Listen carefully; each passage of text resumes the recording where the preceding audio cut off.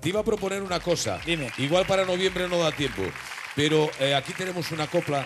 eh, bueno, Una perdón, copla. Una, una canción. no Una, canción. señora copla. Primero, una poesía de Sí. la gran dama Rosalía de Castro.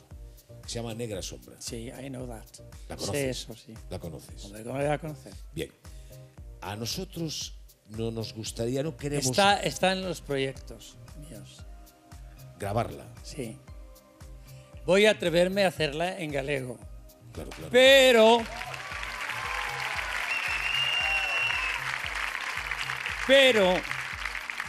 Habrá una versión en español por si me sale mal. No, no, no. En me parece muy bien que la haya, ¿eh? Pero quiero decir, pero cántanosla en gallego porque Sí, no sí, va. sí. No, además vuelvo a repetir. Ah, la, la- la vengo, Las cosas del la corazón. vengo pensando y queriendo desde hace tiempo.